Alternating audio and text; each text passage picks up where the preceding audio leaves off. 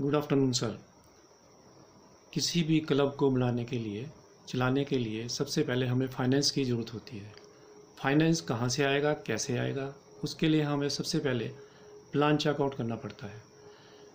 उसमें हमें क्लब को लॉयल्टी के लिए ऐसे मेंबर बनाने पड़ेंगे कि जो जनता को हमारे क्लब की लॉयल्टी बताएँगे जाके, उससे क्या होगा कि हमारे फाइनेंस के फाइनेंस के लिए लोग अपना दिल खोल के फाइनेंस करेंगे।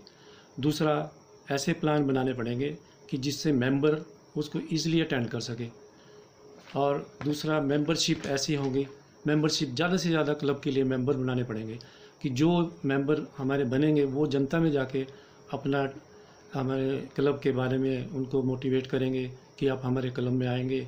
तो उससे हमारे क्लब की जो जो फ़ंक्शन या जो जो एक्टिविटीज़ होंगी, उनको, उसके बारे में बता, बताएँगे। ये अधिक से अधिक मेंबरशिप जितनी भी बनेगी, उतना ही हमारे क्लब को फ़ायदा होगा। और दूसरा, अधिक से अधिक स्पॉन्सरशिप अगर हमको मिलेगी, तभी हम अपना क्लब का फाइनेंस इंक्रीज़ कर पाएँगे। ये मेरा मेरा व्यू है। Thank you